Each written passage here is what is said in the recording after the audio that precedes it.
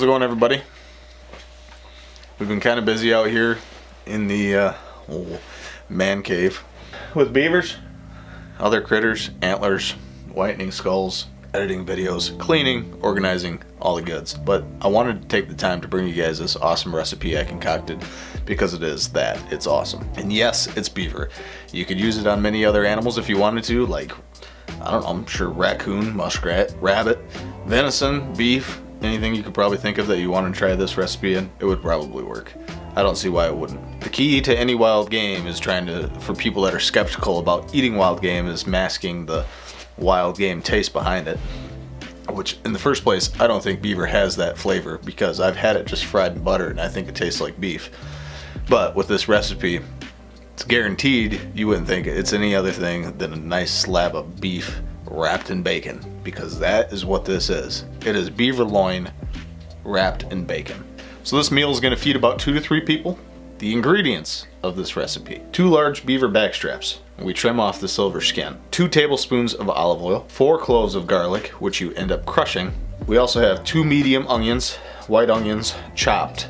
So they're a little bit thicker, not minced not sliced, they're chopped, so it's bigger chunks of onion. We have two dried chili peppers, dehydrated chili peppers, you can use fresh. You probably wanna remove some seeds if you don't like hot stuff.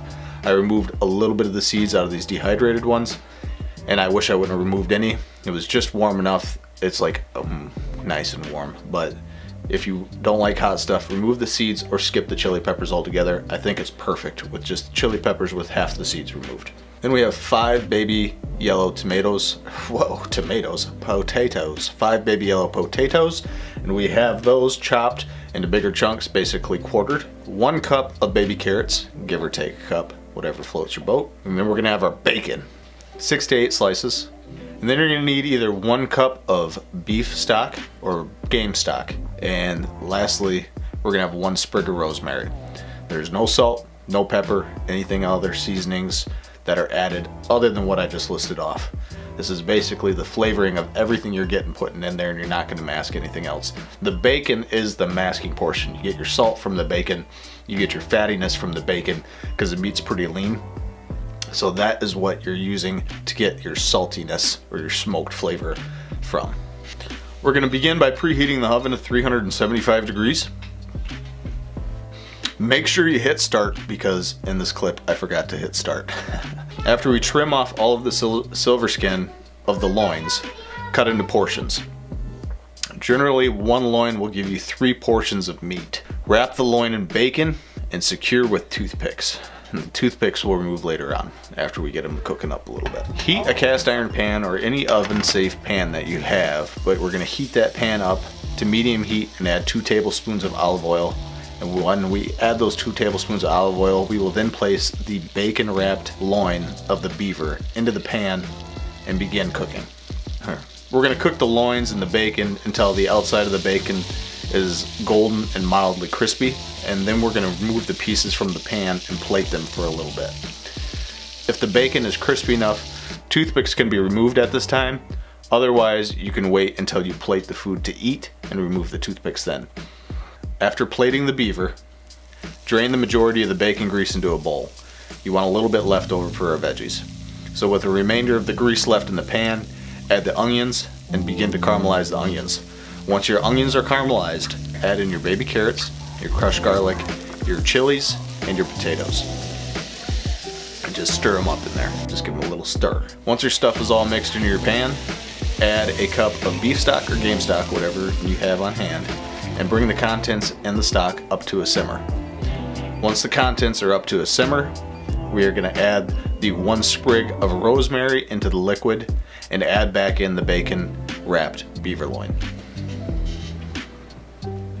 By this time our oven should be preheated to 375 degrees.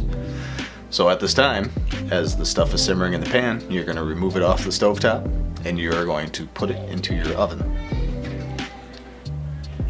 We're gonna roast the contents in the oven for approximately 30 minutes, depending on how your potatoes are. The first time I cooked it this way, I kind of forgot about it in the oven. Ended up leaving it in there for an hour. Still turned out great, just a little bit crispier than what I was hoping for. When the 30 minutes or the allotted time that you need for it to reach what you want for the potatoes, remove from the oven, and it can then be plated. And if you haven't removed your toothpicks, I would now recommend at this time removing your toothpicks so you don't choke on one. It's best eaten with a big old chunk of bread with some butter on it and a giant glass of milk. This meal is a meal, like a feel-good meal. And really, overall, it's a pretty healthy meal, especially since you're consuming all whole foods. When it's removed from the oven, you'll notice most of the broth or the, the stock is, is now evaporated or soaked up by the contents in the pan. And it'll look golden and yummy and delicious. You might want to let it sit on the stove top for a little bit to cool off because it will be hot coming out of there. But when you're ready to plate that thing, you're gonna take about two pieces of your loin, put that on your plate, get some of the potatoes in there, some of the carrots, maybe a little clove of garlic, and then maybe a little bit of the rosemary. Get that all on top of that plate. Cut yourself a big old chunk of bread or a nice slice of Spots' bread, because Spots' bread's good. Big old glass of milk. And then, uh, you know, you're gonna consume that thing and you're gonna mow down on it and you're gonna love it because it is delicious. So I hope you enjoyed this meal. We're gonna bring some more wild game stuff to you before too long. The next mission I got is muskrat.